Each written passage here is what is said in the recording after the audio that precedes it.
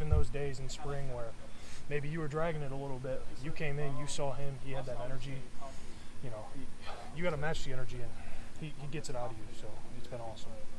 Like year three now, just how do you feel growing more as one of the faces of this offensive line heading into this season Uh, for you? I, I don't really look at it as a face of the O line. I think we're all a unit. Um, I think we're a package deal. I think everyone on the O line is, you know, the face of the O line. So I think it's just been great to work with everyone, grow as a team, and you know, just become closer as well off the field. And I, I think that translates on the field when you look at it. So. You're up uh, four pounds from the spring, though. Was it kind of your goal, time to bulk up entering the summer?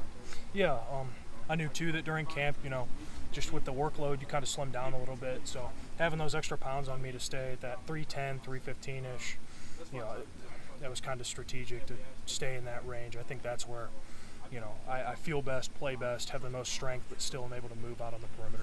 Do you feel like you, uh, you're at your most, I guess, fit or your healthiest as it's been in a long time since you've been here? Yeah, um, I've been bugging Megan, our nutritionist, about the DEXA scans just to see like what my body fat is, and you know, talking with my dad, like he called me up because he's always on me about making sure I keep my weight up.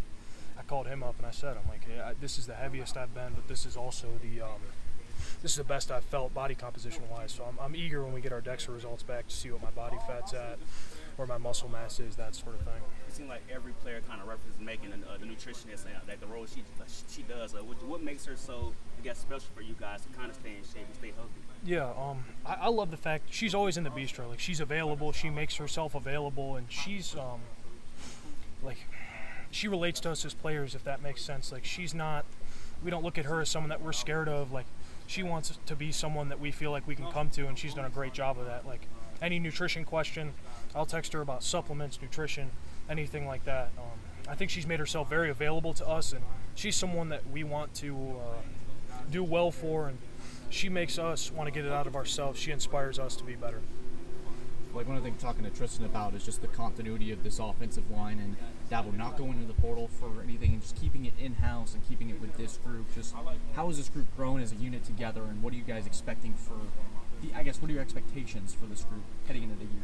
Yeah, um, me and Tristan have talked about it. The whole O line's talked about it. Like we really want to um, set the standard. We want to go out there and show what we can do, and I think we have the guys to be, you know, the best O line. Period. So I think we all know what we can do, and holding each other accountable, like I was saying earlier. Um, making sure everyone's holding everyone accountable, whether it's a freshman holding a senior accountable, vice versa. Like everyone's being held accountable because we know what we can accomplish if we're held accountable. How excited are you for you that, that season opening matchup against Georgia? You, you get tested right off the bat. Man, uh, they have great guys over there, great scheme. They play with they play with some grit to them.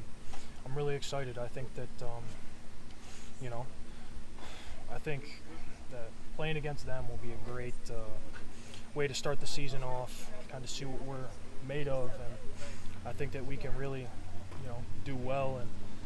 I think that'll be a confidence booster to kind of see what we're doing and you know how we stack up against them. So I, I'm excited. I, I think we can we can do well. It's just like I said, having that accountability, having that belief in ourselves, being able to execute, not making stupid mistakes. That's what it always comes down to to win football games.